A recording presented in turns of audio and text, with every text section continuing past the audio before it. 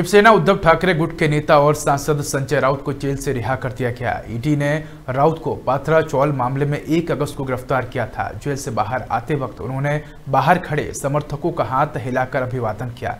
राउत का रिहा होते ही आर्थक रोड जेल के बाहर उनके समर्थकों और शिवसेना के कार्यकर्ताओं ने जेल के बाहर पटाखे फोड़े।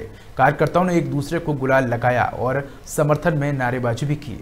आपको बता दें कि राउत 102 दिनों से ज़्यादा समय से जेल में बंद थे। संजय राउत को ईडी ने पात्रा चौल घोटाले मामले में गिरफ़्तार किया था। बुधवार को मुंबई में एक विशेष अदालत ने जमानत दे दी थी। जमानत का विरोध करते हुए ईडी ने बॉम्बे हाईकोर्ट का रुख किया है और जहाँ जमानत को लेकर गुरुवार को सुनवाई की जाएगी।